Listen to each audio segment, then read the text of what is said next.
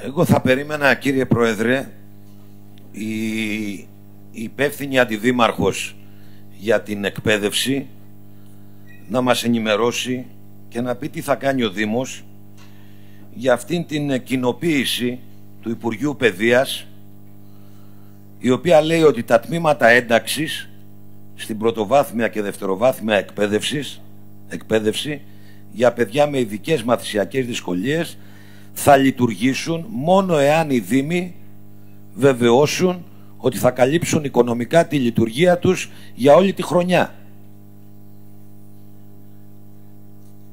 Μια απόφαση, μια κοινοποίηση, μια εγκύκλειος που ουσιαστικά δίνει στους Δήμους την ευθύνη για τα τμήματα ένταξης. Για το αν θα συγκροτούνται, για το πόσα θα είναι και για την κάλυψη των λειτουργικών τους αναγκών από τις σχολικές επιτροπές. Και εδώ λέει για παράδειγμα η εγκύκλειος συντάσσουν πλήρως τεκμηριωμένη πρόταση μέχρι 28 Μάρτη. Έχετε συντάξει τέτοια έκθεση μέχρι 28 Μάρτη.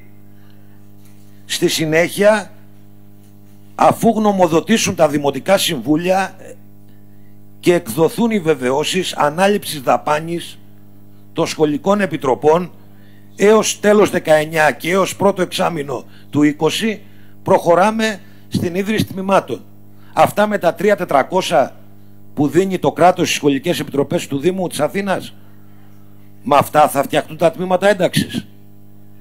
Και αν οι Δήμοι δεν βεβαιώσουν ότι έχουν τη δυνατότητα την οικονομική αυτά τα παιδιά πώς θα ενταχθούν στην πρωτοβάθμια και δευτεροβάθμια εκπαίδευση; Γι' αυτό το θέμα υπάρχει γνώμη, υπάρχει θέση από πλευράς διοίκησης ή το θεωρείτε δευτερεύον τώρα, με αυτά θα ασχολούμαστε; Λοιπόν, θεωρούμε ότι πρέπει και να υπάρχει ενημέρωση και να υπάρχει απόφαση του Δημοτικού Συμβουλίου ότι δεν είναι στη δική του ευθύνη η λειτουργία των τμήματων ένταξης όπως και η λειτουργία των σχολείων είναι άλλο πράγμα οι λειτουργικές ανάγκες και ότι επίσης εάν αποφασίσουμε για χι τμήματα ένταξης το Υπουργείο Παιδείας θα δώσει στους Δήμους το αντίστοιχο χ σε χρήματα για να μπορέσουν να λειτουργήσουν. Δεύτερο θέμα, για να μην επαναλαμβανόμαστε και επειδή το θέμα με το 39 γέλ που έθιξε και ο κύριος Αξελός έχουμε επανειλημμένα θίξει υπάρχει ενημέρωση ότι ξεκινάει μελέτη και ότι η μελέτη θα κρατήσει κάποιο διάστημα, λογικό. Όμως υπάρχουν συγκεκριμένα αιτήματα στα οποία καλό θα είναι με υπογραφή να υπάρχει αναλυτική απάντηση με υπογραφή του αρμόδιου αντιδήμαρχου. Δηλαδή άμεση αυτοψία, άμεση εκτίμηση επικίνδυνοτητας, άμεσα μέτρα. Αυτά και αυτά και αυτά κάνουμε και αυτά τα λέει ο συγκεκριμένος αντιδήμαρχος που έχει την ευθύνη για να τα κάνει.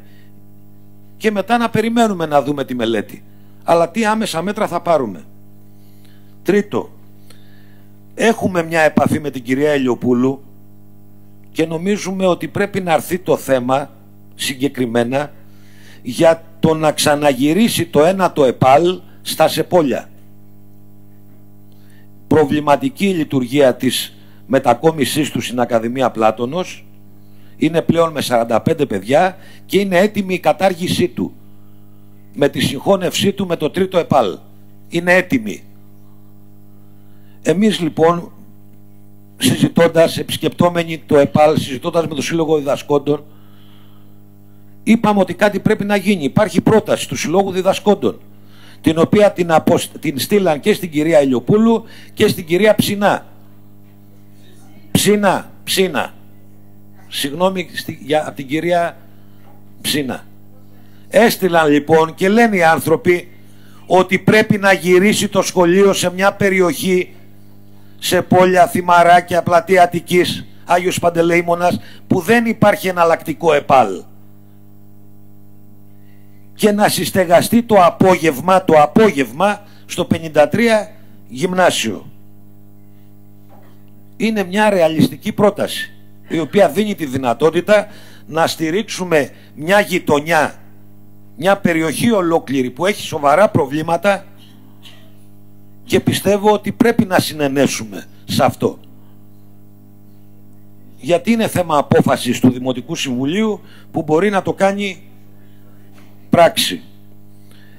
Έχουμε ενημερωθεί επίσης από το Σύλλογο Γονέων του Μουσικού Σχολείου Αθήνας για την αντίδρασή του για τη συστέγαση του καλλιτεχνικού σχολείου που ανακοινώσαμε, ανακοίνωσε μάλλον το Δημοτικό Συμβούλιο την ίδρυσή του στην Αθήνα στον ίδιο χώρο με το Μουσικό Λύκειο.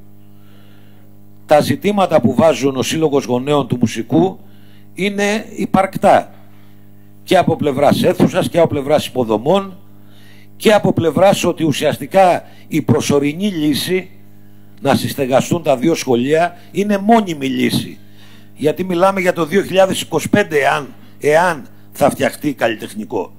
Μέχρι τότε θα συστεγάζονται. Προβληματική λύση την οποία πρέπει να την επανεξετάσουμε και παρά τη θετική γνωμοδότηση που έχει για αυτή την συστέγαση η δευτεροβάθμια, η διεύθυνση δευτεροβάθμιας.